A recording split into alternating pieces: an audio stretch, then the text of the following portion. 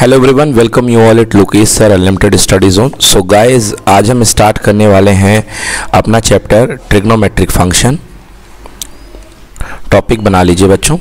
Topic है trigonometric function ठीक है?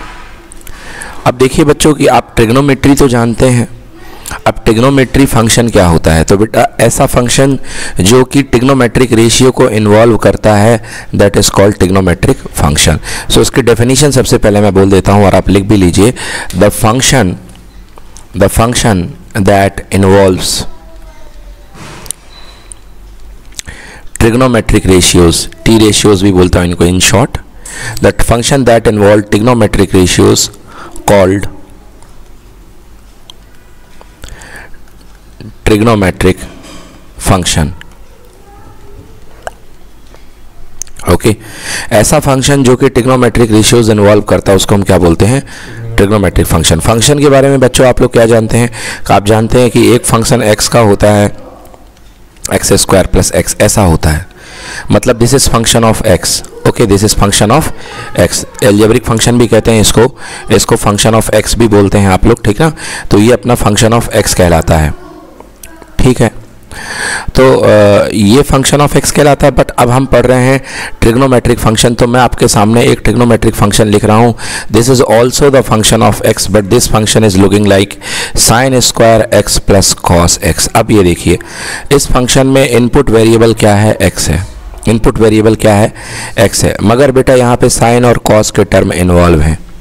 इसलिए ये फ़ंक्शन क्या कहलाएगा? टिग्नोमेट्रिक फ़ंक्शन अगर मैं कहूँगा f x equal to sine की पावर फोर एक्स ठीक ना? तो ये बेटा टिग्नोमेट्रिक फ़ंक्शन है। ठीक ना? तो हर फ़ंक्शन के जैसे एक टिग्नोमेट्रिक फ़ंक्शन होता है, केवल फ़र्क ये होना है कि पहले जहाँ पर आप ऑलरेडी एल्जेब्रा इस्तेमाल करते थे सिंपल वेरिएबल्स इस्तेमाल करते थे, आप वहाँ पर क्या इस्तेमाल करेंगे? टिग्नोमेट्रिक फ़ंक्शन इस्तेमाल करेंगे। यदि आपसे कहा जाएगा कि एक्सपोनेंशियल फ़ंक्शन तो आपका फ़ंक्शन कैसा बनेगा? F x equal to e की पावर एक्स प्लस ई की पावर टू एक्स ये देखिए तो ये जो फ़ंक्शन है इसमें एक्सपोनेंशियल एक्सपोनेंट इन्वॉल्व है। क्या इन्वॉल्व है? सो so, ये फ़ंक्शन कहलाएगा एक्सपोनेंशियल फ़ंक्शन अगर मैं आपसे बोलूँगा लॉगरिदमिक फ़ंक्शन तो इसमें आप जो है लॉग के टर्म रखेंगे। तो देखिए यहाँ पे log x का फ़ंक्शन है, ठीक है ना? और आप इसमें कुछ भी आप ऐड भी कर सकते हैं, जैसे log one by x add कर सकते हैं। So such a function is called log logarithmic function ठीक है ना? अब आप ये समझिए कि अभी तो थोड़ा सा सिंपल है आपके सामने कंसेप्ट जब तक आपके पास single single type of function involve है बच्चों। आपके सामने एक ऐसा भी सीन आ सकता है कि मल्टीपल फ़ंक्शन इन्वॉल्व हो। जैसे मैं आपके सामने लिखता हूँ function of x equal to इसी में है लॉग एक्स इसे में है साइन का एक्स ये देखिए टिग्नोमेट्रिक भी इन्वॉल्व है, और इसी में एक्सपोनेंशियल भी इन्वॉल्व है, और लियो भैया हमने तो इसमें एल्जेब्रा भी इन्वॉल्व कर दी। क्या इन्वॉल्व कर दी? एल्जेब्रा तो बेटा ये बहुत सारे फ़ंक्शन इसमें मिक्स हैं। बहुत सारे फ़ंक्शन मिक्स हैं। ऐसे फ़ंक्शन को बोलते हैं हम ट्रांसडेंटल फ़ंक्शन क्या बोलते हैं? ट्रांसडेंटल फ़ंक्शन ठीक है ना? ट्रांसडेंटल फ़ंक्शन वो तो अभी तो हमें हालाँकि आप कह रहे होगे कि सर पढ़ाने चले थे आप टिग्नोमेट्रिक फ़ंक्शन और आप ये लॉग ऑफ़ क्यों लेकर के आ गए बेटा जब बात शुरू कर दी है तो आगे पीछे की जानकारी लेने में क्या बुराई है? है ना? इसको बोलते हैं अपन ट्रांसडेंटल फ़ंक्शन अब बेटा फ़ंक्शन में आता क्या है? अगर आप इंडिविजुअली इसको फ़ंक्शन चैप्टर से देखते हो बेटा तो दो बड़े तगड़े सवाल बनते हैं। एक बनता है डोमेन और एक बनता है रेंज ज़्यादा मैं डीप में नहीं जाऊँगा डोमेन और रेंज के, बस मैं इतना बता दूँगा कि बेटा फ़ंक्शन एक चक्की होती है। फ़ंक्शन क्या होती है? एक चक्की होती है जो चीज़ों को प्रोसेस करके देती है। इसमें आप एक्स डालते हो और बदले में वाई निकालते हो। हम्म। बदले में क्या निकालते हो? वाई तो बेटा जो जो एक्स आप इसमें इनपुट में दे सकते हो, क्योंकि ये सारा फ़ंक्शन किस किस इनपुट पे काम कर रहा है? एक्स इनपुट पे। किस इनपुट पे काम कर रहा है? तो भैया, जो जो इनपुट आप दे सकते हो, जो जो एक्स की वैल्यू दे सकते हो बेटा, वो एक्स की वैल्यू का जो सेट कहलाएगा, वो डोमेन कहलाएगा। समझ में आ गया? तो डोमेन का मतलब होता है क्या? Set of values of x set of values of x यानी कि इनपुट मतलब इनपुट का जो सेट होगा, वो डोमेन कहलाएगा। और जो आउटपुट का सेट निकलेगा दैट इज़ कॉल्ड रेंज तो व्हाट इज़ रेंज है ना? ये वाई निकलेंगे बहुत सारे तो set of values of output कह लो या set of values of y क्या कहलाएगी? रेंज कहलाएगी। क्या कहलाएगी? रेंज तो बेटा ये रेंज की डेफिनेशन है और ये किसकी डेफिनेशन है? डोमेन की। बोलिए इतनी बात आपको समझ में आ गई ना? ठीक है बच्चों? तो ये डोमेन और रेंज बता दिया। अब हम टॉपिक की तरफ़ वापस आते हैं बेटा। टॉपिक की तरफ़ हम वापस आते हैं, जिसका नाम है ट्रिग्नोमेट्रिक फ़ंक्शन तो बच्चों, हम हर फ़ंक्शन में क्या सीखते हैं? हम हर टिग्नोमेट्रिक फ़ंक्शन में हम टिग्नोमेट्रिक फ़ंक्शन तो आपने देख लिया। टिग्नोमेट्रिक फ़ंक्शन अब हम टॉपिक की तरफ़ चलते हैं टिग्नोमेट्रिक इक्वेशन क्या चलते हैं बेटा? टिग्नोमेट्रिक इक्वेशन फ़ंक्शन और इक्वेशन में थोड़ा सा फ़र्क है बेटा। एक लकीर का फ़र्क है, छोटी सी। देखिए तो अब हमारा जो मेनली जिस टॉपिक के अंदर हमको घुसना है, वो है टिग्नोमेट्रिक इक्वेशन ठीक है बच्चों? अब मैं ये बिलीव करता हूँ कि टिग्नोमेट्रिक फ़ंक्शन में आपको सारे टिग्नोमेट्रिक रेशियोज़ की जानकारी होगी। मैं अभी इतना मान के चल रहा हूँ कि आपको साइन कॉस टेन सब की जानकारी है। ठीक है ना? क्योंकि आपने क्लास एलेवेंथ में टिग्नोमेट्री बहुत अच्छे से डीप में पढ़ी है। आपको प्रॉपर्टीज़ भी पता है, यदि नहीं पता होंगी तो बीच बीच में मैं आपको बताता जाऊँगा। बड़ी अच्छी बात है। अब मैं ये मान के चल रहा हूँ, मुझे आना है टिग्नोमेट्रिक इक्वेशन पे, जो मेरा मेन टॉपिक है आज की क्लास का, टिग्नोमेट्रिक इक्वेशन। तो भैया, आपने देखा था, आपने क्या देखा था? आपने देखा था फ़ंक्शन, या क्वाड्रेटिक फ़ंक्शन से मैं शुरुआत करूँ। तो आपने क्वाड्रेटिक फ़ंक्शन टेंथ क्लास में पहली बार क्या देखा था? आपने क्वाड्रेटिक फ़ंक्शन देखा आपने कि क्वाड्रेटिक फ़ंक्शन की स्टैंडर्ड फॉर्म होती है, a x square plus b x plus c. ये क्वाड्रेटिक फ़ंक्शन होती है। ये क्या थी भाई? ये मैंने क्या लिख दिया है? ये मैंने लिख दिया है क्वाड्रेटिक फ़ंक्शन क्या लिख दिया है? क्वाड्रेटिक फ़ंक्शन ठीक है ना? अब बेटा मैं क्वाड्रेटिक इक्वेशन लिख रहा हूँ। क्वाड्रेटिक इक्वेशन इक्वेशन तो क्वाड्रेटिक इक्वेशन का मतलब हो गया बेटा a x square plus b x plus c अगर आप किसी चीज़ के राइट साइड में ज़ीरो बना दो तो बेटा वो स्टैंडर्ड फॉर्म की इक्वेशन बन जाती है। क्या बन जाती है? स्टैंडर्ड फॉर्म की इक्वेशन स्टैंडर्ड फॉर्म की इक्वेशन तो बेटा इक्वेशन वर्ड में इक्वल लगा है इक्वल इक्वल मतलब जहाँ ऐसा स्ट्रक्चर ऐसा टिग्नोमेट्रिक स्ट्रक्चर जिसमें इक्वल साइन कंटेन हो, उसको क्या बोलोगे? Trigonometric equation okay? So the trigonometric structure that contain an equal sign is called trigonometric equation. मैं लिखता हूँ आपके सामने। लाइक like ये आपके सामने sin x equal to one by two है। क्या है sin x equal to one by two equal लगा है कि नहीं लगा है? हाँ अब देखो बेटा अब अब ये टिग्नोमेट्रिक फ़ंक्शन नहीं है अब ये टिग्नोमेट्रिक इक्वेशन है। क्या है ये टिग्नोमेट्रिक और आप कुछ भी करके बेटा आप राइट साइड में ज़ीरो भी बना सकते हो। इक्वेशन आपको आज़ादी देता है कि आप राइट साइड में ज़ीरो बना सको। क्या बना सको? हाँ। और जब आप किसी इक्वेशन को स्टैंडर्ड फॉर्म में लिखते हो तो उसके राइट साइड में आपको क्या लिखना पड़ता है? ज़ीरो ठीक है? चलिए अब थोड़ी सी फीलिंग लेके आते हैं आपके पास पहले। जैसे आपके पास मान लो कोई क्वेश्चन दिया है, बेटा x square plus five x plus six question आता है, इसको सॉल्व करो। क्या करो इसको? सॉल्व करो। तो सॉल्व करने का मतलब बेटा x की वो वैल्यू निकालो जो इस इक्वेशन को सेटिस्फाई करे। क्या करे इस इक्वेशन को? तो आप मिडिल टर्म स्प्लिटिंग का यूज़ करके इसकी इक्वेशन की दो वैल्यू निकालते हो। एक निकालते हो x equal to minus three और एक x equal to minus two I hope आपको पता होगा कैसे सॉल्व करते हैं। मैं उस पर नहीं जा रहा हूँ। तो एक वैल्यू आप निकालते हो माइनस थ्री एक वैल्यू क्या निकालते हो आप? Minus two. बेटा ये जो वैल्यूज़ होती हैं इनको हम बोलते हैं टिग्नोमेट्रिक इक्वेशन का सॉरी एल्जेब्रिक इक्वेशन का सोल्यूशन। क्या कहलाते हैं? सोल्यूशन। कहलाते कि नहीं कहलाते हैं? इस क्वाड्रेटिक इक्वेशन का क्या कहलाते हैं? सोल्यूशन को। क्योंकि क्वेश्चन लिख करके आता है सॉल्व करो तो सॉल्व करके क्या निकलेगा? सोल्यूशन ही निकलेगा। और इन्हीं बातों को बेटा ये जो एक्स की वैल्यू आई है इन्हीं को बोलते हैं सोल्यूशन इन्हीं को बोलते हैं रूट्स क्या बोलते हैं इनको बेटा? रूट्स समझ में आ गया? अब ये इस क्वेश्चन पे आओ। तो बेटा आपको x की वो वैल्यू चाहिए है चाहिए है, जैसे मैंने लिख दिया sine x equal to one by two तो आपको x की वो वैल्यू चाहिए जो इक्वेशन को सेटिस्फाई करे मतलब इक्वेशन को दोनों तरफ़ से इक्वल कर दे। तो यदि चलिए मैं आपके सुख शांति के लिए मैं लिखता हूँ थोड़ी देर के लिए sine thirty degree equal to one by two बोलिए साइन थर्टी क्या होता है? और ये भी क्या होता है? मतलब बताओ बच्चों थर्टी डिग्री ने सेटिस्फाई कर दिया कि नहीं कर दिया? कर दिया ना तो 30 डिग्री क्या होगा बेटा? इसका सॉल्यूशन होगा। क्या होगा इसका बेटा? समझ में आ गया कि नहीं आ गया? अब सवाल ये है मेरे बच्चों कि देखो बेटा यहाँ पर इसके दो सोल्यूशन निकले हैं। कैसे सोल्यूशन निकले हैं? दो सोल्यूशन। क्योंकि बेटा ये देखो ये जो ग्राफ होता है बेटा इसका x square plus five x plus six बेटा क्वाड्रेटिक इक्वेशन का क्वाड्रेटिक इक्वेशन का बेटा ग्राफ होता है पैराबोला। क्या होता है बेटा क्वाड्रेटिक इक्वेशन ग्राफ? पैराबोला होता है। और बेटा अपन को इसको इक्वल किससे करना है? ज़ीरो से। किससे इक्वल करना है? तो बेटा ज़ीरो वाली लाइन ये जाती है। इसे बोलते हैं एक्स एक्सेस क्या बोलते हैं इसे बेटा? एक्स एक्सेस का इक्वेशन आपने पढ़ा है y equal to zero y equal to zero मेरे बच्चों फीलिंग को पकड़ना ज़बरदस्त वाली फीलिंग आने वाली है।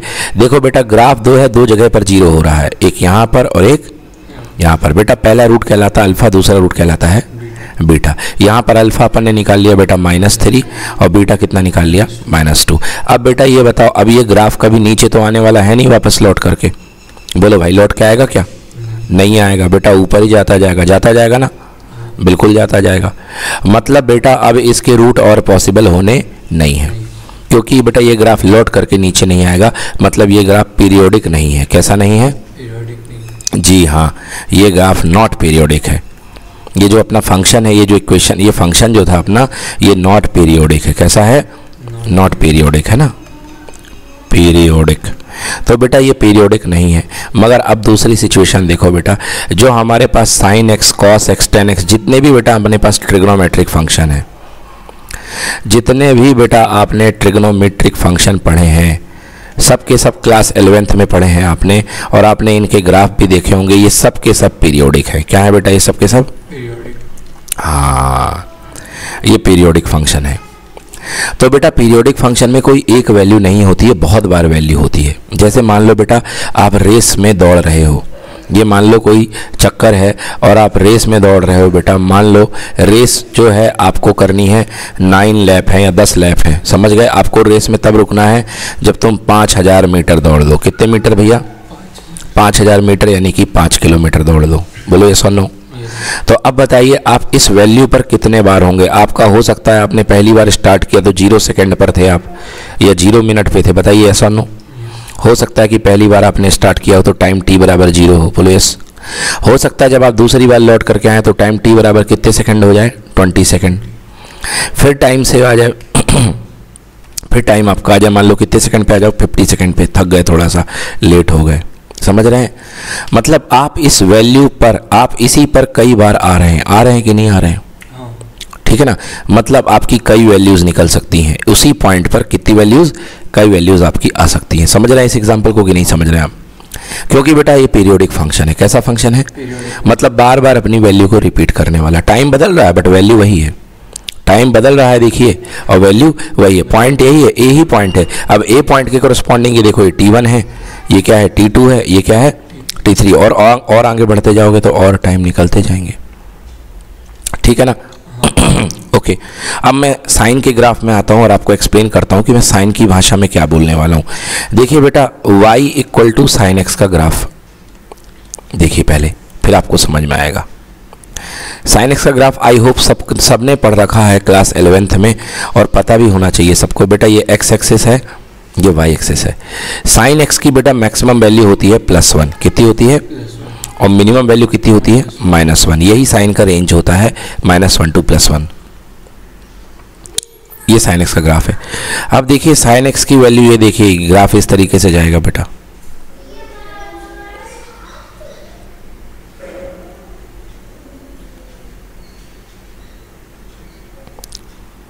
ये बेटा ग्राफ जाता है। इसको बोलते हैं साइनोसोइडल ग्राफ पीछे भी जाएगा बेटा। ठीक है? तो साइन एक्स जो होता है बेटा इनपुट में कहाँ से कहाँ लेता है? Minus infinity to plus infinity ये इसका डोमेन है। क्या है बेटा ये? डोमेन एक्स का सेट होता है तो minus infinity to plus infinity but range y की बात होती है तो रेंज क्या होगा? Close interval minus one to plus one because बेटा टच भी हो रहा है माइनस वन पे ये देखो। टच हो रहा है। अब कोई चीज़ टच होती तो शामिल होती इसलिए क्लोज इंटरवल ठीक है? तो बेटा अपन ने y equal to sine x बना दिया ग्राफ अब देखिए इक्वेशन क्या है अपना? इक्वेशन है अपने पास जो मैंने दिया दिया है sine x equal to one by two sine x equal to कितना? ठीक है। मतलब जो साइन एक्स की वैल्यू है वन बाई टू के बराबर होनी चाहिए। ठीक है? साइन एक्स की वैल्यू किसके बराबर होनी चाहिए? अगर मैं इसको फ़ंक्शन के रूप में ट्रीट करूँ तो ये दो अलग अलग फ़ंक्शन निकल निकलेंगे। पहला y equal to sine x और दूसरा y equal to one by two एक निकलेगा y equal to sine x और एक निकलेगा y equal to one by two और हमको देखना है कि दोनों इक्वल कहाँ पे हो रहे हैं।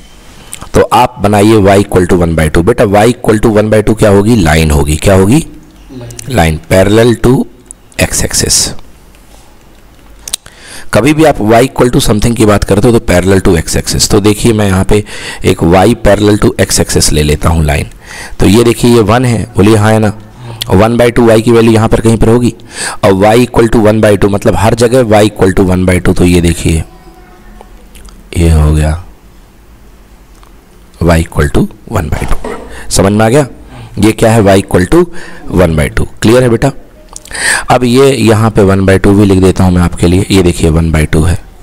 अब आप देखिए कि कहाँ कहाँ पर साइन एक्स और वन बाई टू इक्वल है। जहाँ पर मिल रहे होंगे। ये साइन के लिए भी वन बाई टू है वाई के लिए भी वन बाई टू है कि नहीं? है देखिए, ये ग्राफ नंबर वन है और ये ग्राफ नंबर टू है। दोनों एक दूसरे को कहाँ पे टच कर रहे हैं? यहाँ पे टच कर रहे हैं। ठीक है? अब मैं यहाँ पे वैल्यू डाल देता हूँ एंगल की। बेटा, ये कितने रेडियन ज़ीरो रेडियन है ना? ये बीच में कितना होता है बेटा? 90 होता है। हाँ है ना? 90 को क्या लिखता हूँ बेटा? रेडियन में पाई बाय टू बेटा, ये कितना होता है? पाई होता है।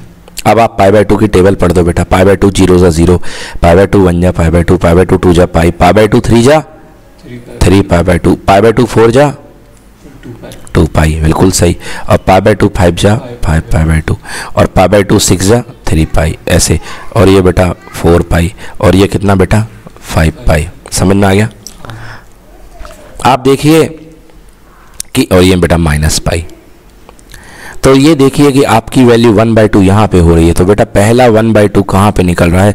ज़ीरो और नाइन्टी डिग्री के बीच में। अब बेटा डिग्री की बात करूँगा तो आपको फीलिंग अच्छी आती है। है ना? क्योंकि डिग्री से अपन बचपन से पढ़े हैं। और ये 180 डिग्री है। तो ज़ीरो और 90 के बीच में बेटा पहला एंगल जो हम लोग का निकला था वो कितना निकला था? 30 डिग्री कितना निकला था? जी हाँ।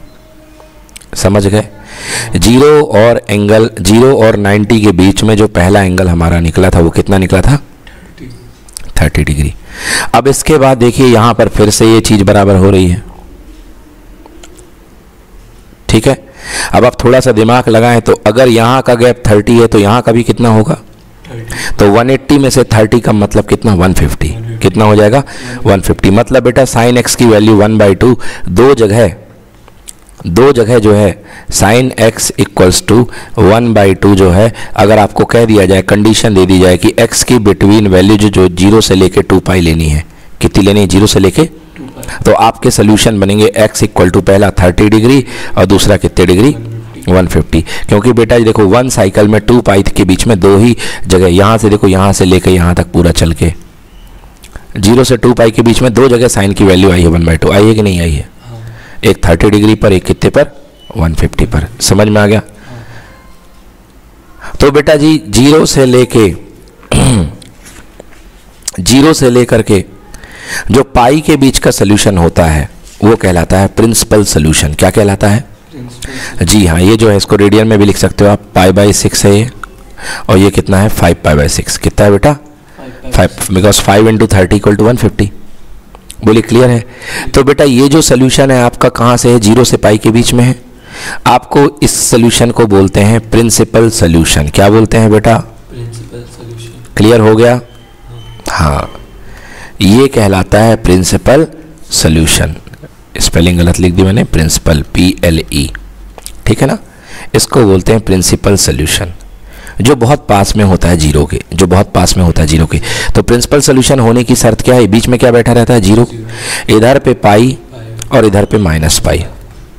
इसके बीच के जो सोल्यूशन आएँगे बेटो, वो क्या होंगे? प्रिंसिपल सोल्यूशन और इसके अलावा जो आएँगे, वो जनरल में काउंट होंगे। किसमें काउंट होंगे? अब देखिए, आगे यदि मैं बात करूँ, अगर मैं आगे बात करूँ बेटा तो देखिए, आगे मेरे को वन बाई टू वैल्यू फिर यहाँ पे मिल रही है। बोलिए यस और नो क्लियर है कि नहीं है? ये क्या है बेटा? टू पाई मतलब थ्री सिक्सटी डिग्री है कि नहीं है बताइए। तो थ्री सिक्सटी डिग्री के कितना आएँगे थर्टी आएँगे क्योंकि सिमेट्रिक ग्राफ चलती है। भैया जब यहाँ भी थर्टी था तो यहाँ भी कितना होगा? थर्टी होगा ना? कि नहीं होगा?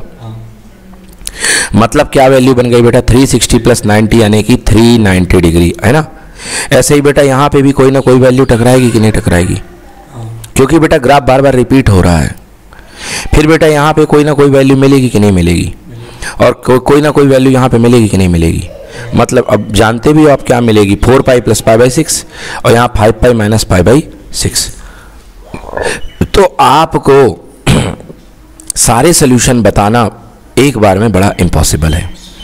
क्योंकि कितने सोल्यूशन निकलेंगे? इनफाइनाइट सोल्यूशन कितने निकलेंगे? तो आप एक तरकीब लगाते हैं जिससे आप सारे सोल्यूशन बना देते हैं। और उस तरकीब को उस सोल्यूशन के फॉर्मेट को बोलते हैं बेटा जनरल सोल्यूशन क्या बोलते हैं? हाँ तो अब हमने पढ़ लिया बेटा प्रिंसिपल सोल्यूशन मतलब ज़ीरो के पास वाला। समझ गए? अब बेटा जनरल सोल्यूशन ठीक है ना? ये बिल्कुल ज़ीरो के पास का था अब पढ़ाता हूँ मैं जनरल सोल्यूशन अब जैसे जनरल सोल्यूशन के लिए मैं एक लाइन और बात आपसे कर लेता हूँ। मैं बोलूँ बेटा कि साइन एक्स की वैल्यू ज़ीरो कहाँ कहाँ पर हो रही है? तो साइन एक्स की वैल्यू ज़ीरो कहाँ पे होगी? यहाँ पे। क्योंकि y equal to sine x है। वाई इक्वल टू क्या है? साइन एक्स है। और मैं आपसे बोलूँ sine x equal to zero मतलब वाई की वैल्यू कितनी होनी चाहिए? ज़ीरो और वाई की वैल्यू ज़ीरो कहाँ पे हो रही है? ज़ीरो पे पाई पे टू पाई पे थ्री पाई पे फोर पाई पे फाइव पाई पे माइनस पाई पे। यस और नो तो यदि मैं बोलूँ आपसे कि मेरे सोल्यूशन का आ, मेरे इक्वेशन का टिग्नोमेट्रिक इक्वेशन का सोल्यूशन लिखो। टिग्नोमेट्रिक इक्वेशन है sine x equal to zero then you will say my answer is x equal to n pi where n belongs to integer देख लो सर, सारे हैं। अब अगर आप एन की वैल्यू ज़ीरो डालोगे तो क्या निकलेगा? Zero n equal to zero पर। बोलो यस और no n equal to one डालोगे तो क्या निकलेगा? एक्स इक्वल टू पाई ये वन पर। अगर आप एन की वैल्यू टू डालोगे तो क्या निकलेगा? टू पाई अगर आप एन की वैल्यू माइनस वन डालोगे तो कितना निकलेगा? Minus pi because n integer है। इंटीजर में आप कुछ भी ले सकते हो। अगर आप एन की वैल्यू बेटा माइनस टू डालोगे तो कितना निकलेगा? माइनस टू पाई बताइए, सारे सोल्यूशन इन्वॉल्व हो रहे हैं कि नहीं हो रहे हैं? तो एक ऐसी स्ट्रक्चर जो सारे सोल्यूशन को इन्वॉल्व करे, उसको हम क्या बोलते हैं? जनरल सोल्यूशन क्या बोलते हैं बेटा? तो sine x equal to zero का जनरल सोल्यूशन क्या होगा? क्या होगा? अरे x equal to n pi होगा भाई, अभी तो बताया यार, x इक्वल टू कितना होगा? एन पाई ये कहलाएगा जनरल सोल्यूशन क्या कहलाएगा? आ रहा है समझ में? ठीक है ना? x इक्वल टू ज़ीरो ये कहलाएगा जनरल सोल्यूशन अब इसका प्रिंसिपल सोल्यूशन क्या होगा? ज़ीरो क्योंकि ज़ीरो पे ज़ीरो होता है। या पाई भी ले लो और इधर पे जाओ तो माइनस पाई ले लो। क्योंकि साइन ज़ीरो भी ज़ीरो होता है। साइन ज़ीरो कितना होता है? साइन पाई कितना होता है? और साइन माइनस पाई कितना होता है? हाँ। ठीक है? तो ये तो बन गए अपने प्रिंसिपल सोल्यूशन तीन, एक, दो, तीन। क्लियर ना? बट बाकी बेटा देने के लिए तो कहलाएगा जनरल सोल्यूशन। ठीक है? अब आपसे कोई बोले कि साइन, इससे फ़ायदा क्या हुआ? एक चीज़ ये भी सीख लिया आपने। आपसे कोई बोले, साइन सेवन पाई क्या होता है? आँख मूंद करके आंसर ज़ीरो बोल दोगे? नहीं बोल पाओगे? क्योंकि साइन एन पाई हर एन पाई के लिए साइन की वैल्यू क्या होती है? ज़ीरो तो एन पाई में बेटा सेवन पाई भी आ जाएगा। उसकी वैल्यू कितनी हो जाएगी? ज़ीरो तो ये फ़र्क है बेटा जनरल सोल्यूशन में और प्रिंसिपल सोल्यूशन में। जनरल सोल्यूशन जो होता है ऑल पॉसिबल सोल्यूशन बताएगा। और प्रिंसिपल सोल्यूशन केवल ज़ीरो के आसपास के सोल्यूशन बताएगा, एक या दो। ठीक है? तो अब बेटा क्या करेंगे? अब हमको याद करने हैं कुछ general solution to learn to learn कुछ हमें याद करने हैं जनरल सोल्यूशन। कैसा? पहले मैं ज़ीरो वाले बता देता हूँ। अगर कहीं पे sine x equal to zero लिखा है बच्चों तो इसका जनरल सोल्यूशन होगा। कितना बोलो?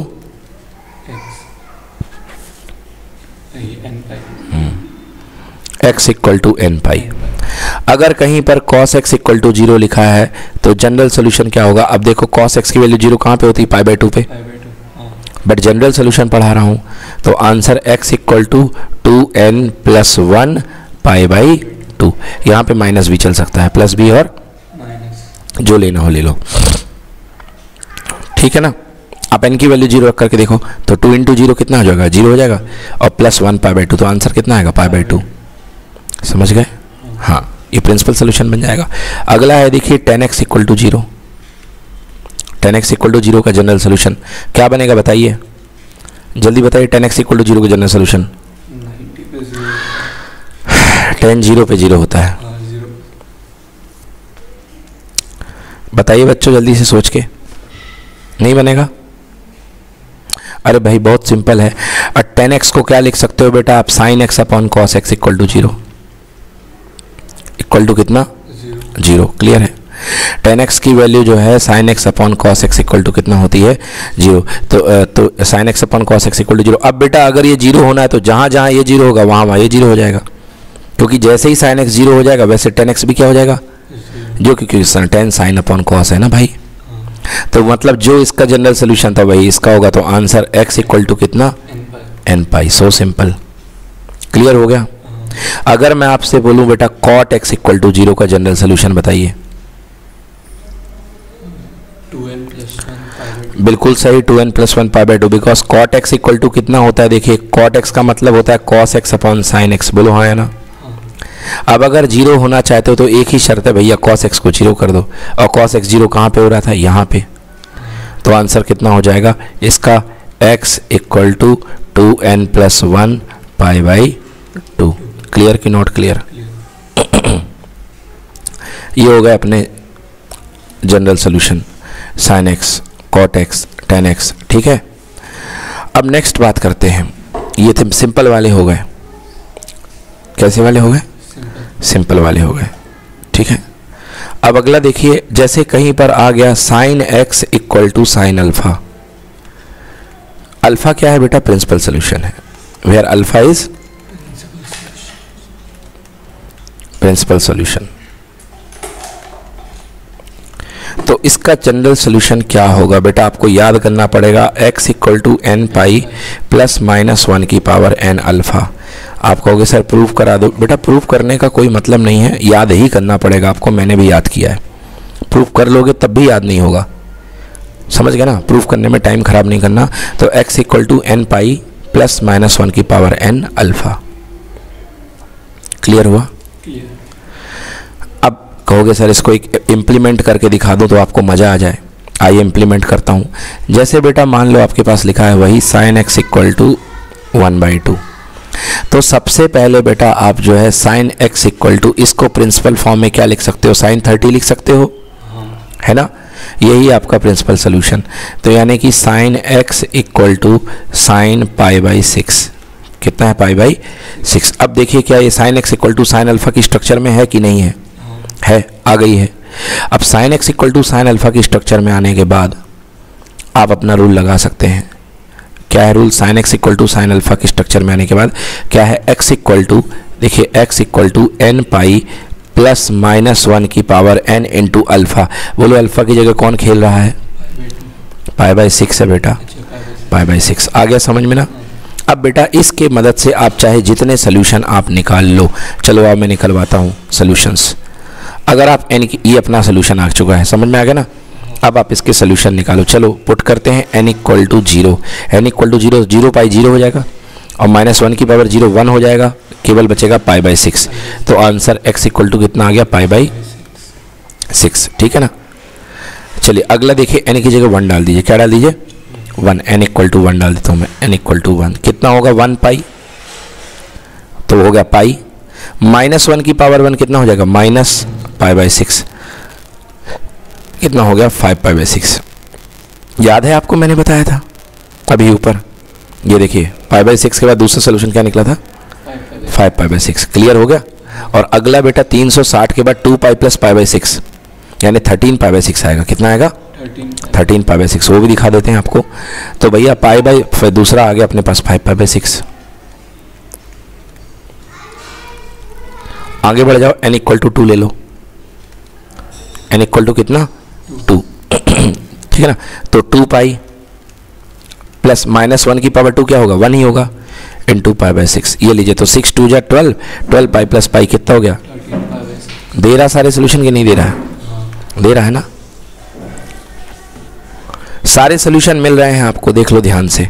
जितने भी सोल्यूशन यहाँ पे आए हैं, ये टू पाई के आएँगे पाई बाई सिक्स बेटा यही होगा thirteen pi by six I hope आप समझ रहे होंगे। हाँ।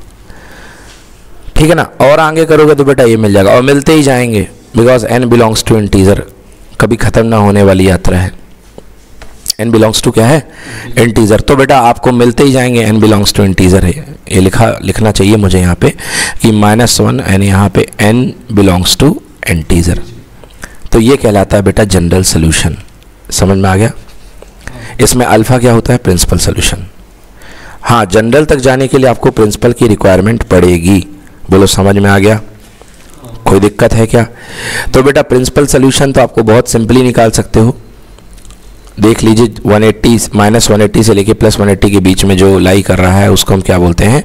प्रिंसिपल सोल्यूशन अब आइए देखते हैं, अगला बता दूँ मैं बेटा cos x equal to cos alpha cos x equal to cos alpha ठीक है ना? तो cos x equal to cos alpha का जनरल सोल्यूशन लिख लेंगे बच्चों x equal to two n pi plus minus alpha ये होता है बेटा। ठीक है? एन बिलोंग्स टू इंटीजर अगला लिखेंगे tan x equal to tan alpha इसका जनरल सोल्यूशन होता है बच्चों x equal to n pi plus alpha n pi plus alpha ठीक है ना? याद ही कर लेंगे। ठीक है? नेक्स्ट देखिए, कुछ और जनरल सोल्यूशन बेटा sine square x equal to sine square alpha हो, या cos square x equal to cos square alpha हो, या tan square x equal to tan square alpha हो. बेटा, तीनों का जनरल सोल्यूशन एक ही है किस्मत से. x equal to n pi plus minus alpha क्या है बेटा? X equal to n pi plus minus alpha x equal to n pi plus minus alpha समझ में आ गया? कोई दिक्कत है क्या? तो तीनों का एक ही जनरल सोल्यूशन निकलेगा. X equal to n pi plus minus alpha बोलिए क्लियर है? अब आपको क्या बनना चाहिए? इसके लिए ये पूरा हो गया बेटा. यहाँ पे इस चैप्टर की पूरी नॉलेज हो गई. टिग्नोमेट्रिक इक्वेशन की. अब क्या करना है इस चैप्टर में? अगर डिफ़िकल्ट क्वेश्चन आए तो क्या करना है? कुछ टिप्स एंड ट्रिक्स मैं बता रहा हूँ आपको कि बेटा कैसे ये चैप्टर और ज़्यादा ईजी बनेगा। नंबर वन अगर क्वेश्चन एडिशन फॉर्म में आया है किस फॉर्म में आया है? एडिशन फॉर्म में आया है बच्चों। तो उसको क्वेश्चन को घसीट करके आपको मल्टीप्लिकेशन फॉर्म में ले जाना है। किस फॉर्म में ले जाना है बेटा? हाँ मल्टीप्लिकेशन फॉर्म में। समझ में आ गया? तो मतलब यदि क्वेश्चन एडिशन फॉर्म में है तो किसमें ले जाना है आपको?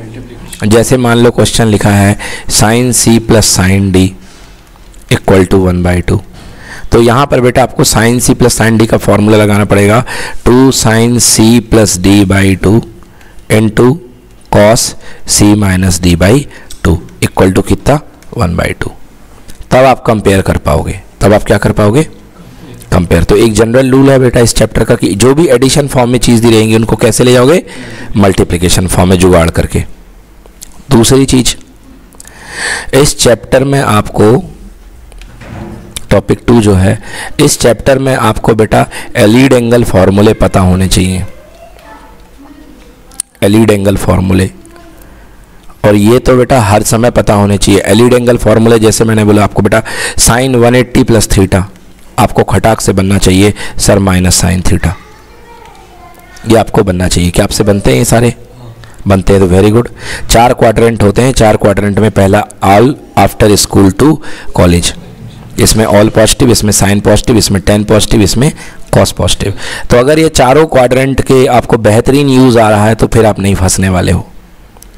फिर प्रिंसिपल सोल्यूशन आपकी मुट्ठी में है। समझ में आ गया? तो ये दो चीज़ें आपके लिए बहुत इंपॉर्टेंट है। अब आइए देखते हैं क्वेश्चन एक बढ़िया सा क्वेश्चन देखते हैं। जैसे यहाँ पे दिया हुआ है एलिड एंगल का यूज़ देखेंगे बेटा। जैसे बेटा यहाँ पे आपको दिया हुआ है find the principal solution of cos theta equal to minus one by two ये लीजिए cos theta is equal to minus one by two variable theta में क्या है? टेक्नोमेट्रिक इक्वेशन है। बोलिए यस और नो तो पहले क्वाड्रेंट की पिक्चर बनाइए, क्योंकि आपको क्या चाहिए है? प्रिंसिपल सोल्यूशन तो देखिए, ये ऑल पॉजिटिव होता है और यहाँ पर साइन पॉजिटिव होता है। और फ़िलहाल आपका कॉस दिया कॉस नेगेटिव है तो यहाँ तो कॉस पॉजिटिव होगा और यहाँ पे कॉस क्या होगा अपना? नेगेटिव मतलब यही इसी में आंसर आना है अपना। समझ में आ गया ना? क्योंकि जाना या तो ज़ीरो टू पाई है और या तो ज़ीरो टू माइनस पाई है। ऐसे जाओगे तो एंटी क्लॉकवाइज ऐसे जाओगे तो क्लॉकवाइज क्लॉकवाइज का एंगल बेटा नेगेटिव आएगा और एंटी क्लॉकवाइज का एंगल बेटा पॉजिटिव आएगा। तो हम तो एंटी क्लॉकवाइज ही चलेंगे। क्यों आदत बिगाड़ें अपनी? जब तक कोई परेशानी नहीं है तब तक सीधे सीधे चलते हैं। तो cos theta equal to one by two ये पता चल चुका है कि सेकेंड क्वाड्रेंट में एंगल को ढकेलना है। चलिए कैसे करते हैं? सरल तरीका बताता हूँ। कॉस थीटा माइनस अलग कर लो और ब्रैकेट के अंदर वन बाई टू लिख लो। Cos theta equal to minus क्या बेटा आप इसको कॉस सिक्सटी लिख सकते हैं। ठीक है? अब देखिए बेटा इस प्रॉपर्टी का यूज़ करते हुए सेकेंड क्वाड्रेंट है ये होता है 180 तो अंदर का एंगल क्या होगा? 180 एट्टी माइनस थीटा और आप जानते हैं कि कॉस 180 एट्टी माइनस थीटा कौन सा क्वाड्रेंट सेकेंड क्वाड्रेंट और 180 है मतलब नो चेंज 180 मतलब तो कॉस 180 एट्टी माइनस थीटा क्या होता है? बिल्कुल सही माइनस कॉस थीटा तो अब इसको उल्टा लिख लो माइनस कॉस थीटा को कॉस 180 एट्टी माइनस थीटा तो माइनस कॉस सिक्सटी को मैं क्या कॉस 180 एट्टी माइनस सिक्सटी लिख सकता हूँ? नहीं लिख सकता? भाई माइनस कॉस थीटा को कॉस 180 एट्टी माइनस थीटा तो माइनस कॉस सिक्सटी को minus cos 180 eighty minus sixty answer आ गया कॉस 120 डिग्री बोलिए, दिख गया प्रिंसिपल सोल्यूशन अब थीटा किसके जैसे है? 120 है कि नहीं है? तो रेडियन में लिख देता हूँ 120 को तो हमारा प्रिंसिपल सोल्यूशन आ चुका है। थीटा इक्वल टू 120 डिग्री और रेडियन में कन्वर्ट करने के लिए आपको पता है किसका मल्टीप्लाई करते हैं? पाई का नहीं पाई अपॉन 180 का। ठीक है? ज़ीरो से ज़ीरो कैंसिल करिए।